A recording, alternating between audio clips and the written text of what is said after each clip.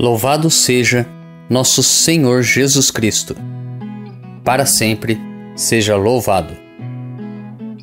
Eu e minha casa serviremos ao Senhor. Inspirai, ó Deus, as nossas ações e ajudai-nos a realizá-las, para que em vós comece e para vós termine tudo aquilo que fizermos. Por Cristo nosso Senhor. Amém. Antes de iniciarmos a reflexão da palavra, rezemos juntos a oração de reenvio das flechas envenenadas.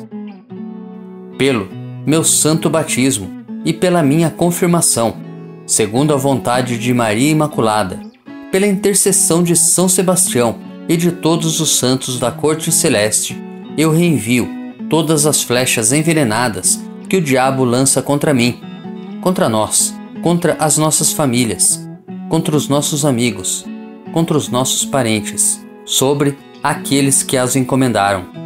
Não no espírito de vingança, mas para que eles desistam e se convertam. Em nome do Pai, do Filho e do Espírito Santo. Amém. Primeira leitura. A leitura de hoje é tirada da profecia de Oséias, capítulo 6, dos versículos 1 ao 6. Vinde, voltemos para o Senhor, ele nos feriu e há de tratar-nos, ele nos machucou e há de curar-nos. Em dois dias nos dará vida, e ao terceiro dia há de restaurar-nos, e viveremos em Sua presença. É preciso saber segui-lo para reconhecer o Senhor. Certa como a aurora é a sua vinda, ele virá até nós como as primeiras chuvas, como as chuvas tardias que regam o solo. Como vou tratar-te, Efraim?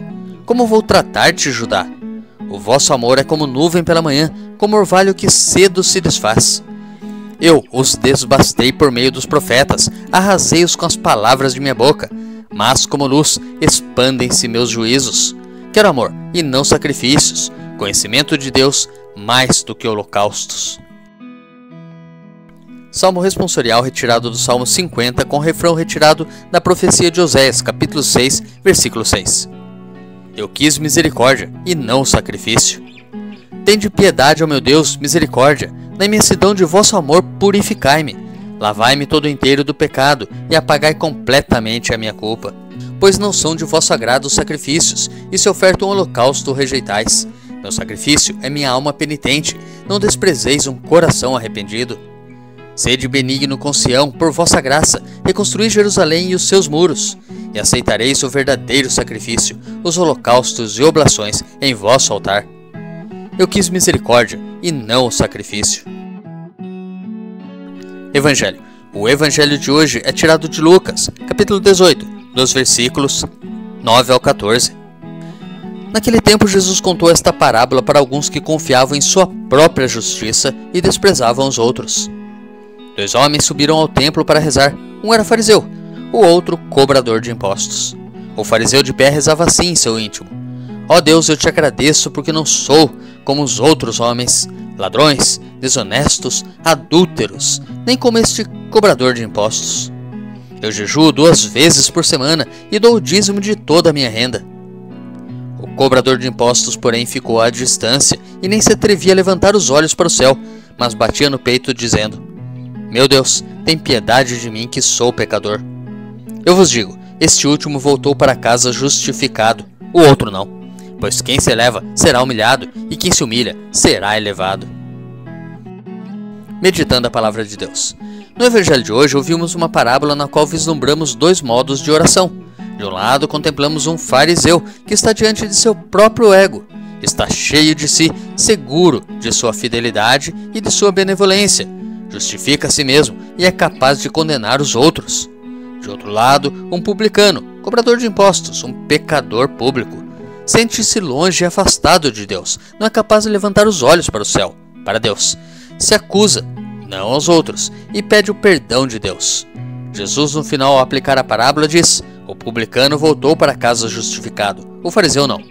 Diante disso, na sinceridade do coração, cada um de nós respondamos para nós mesmos: com qual dos dois personagens da parábola o nosso coração se identifica mais? para refletirmos juntos. Qual deles é o corrupto? O fariseu. É um corrupto e finge que reza. Assim na vida, quem se considera justo e julga o próximo, desprezando-o, é um corrupto, um hipócrita. Papa Francisco. Deus te abençoe e te proteja. Grave agora um áudio com a leitura do dia e encaminhe para o seu próximo. Ou envie um versículo da Bíblia nesse instante. Se preferir, compartilhe este vídeo. Curta, comente com o seu amém. Coraça de São Patrício. Hoje me levanto com poderosa força e invoco a Santíssima Trindade com trinitária fé, professando a unidade do Criador e da criatura. Hoje me levanto com a força do nascimento de Cristo, graças ao seu batismo, com a força de sua crucificação e morte, com a força de sua ressurreição e ascensão, com a força de seu retorno no dia do juízo. Hoje me levanto com a força do amor do querubim, obediente aos anjos, a serviço dos arcanjos, na esperança da ressurreição, para encontrar consolo com as orações dos patriarcas, as predições dos profetas, os ensinamentos dos apóstolos, a fé dos confessores, a inocência das santas virgens, os feitos dos homens de bem. Hoje me levanto com a força dos céus, a luz do sol, o brilho da lua, o esplendor do fogo, a velocidade do trovão, a rapidez do vento, a profundidade dos mares, a permanência da terra, a firmeza da rocha.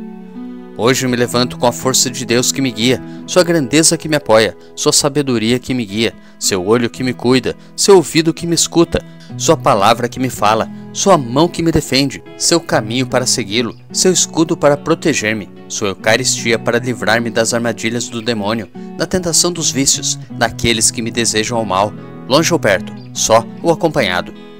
Invoco hoje estes poderes para que se levantem entre mim e esses males, contra todos os cruéis e infames poderes que desejam mal para o meu corpo, contra as invocações dos falsos profetas, contra as nefastas leis da pagania, contra as falsas leis da heresia, contra as artes da idolatria, contra os feitiços das bruxas, quiromantes e feiticeiros, contra todo conhecimento que corrompe o corpo e a alma.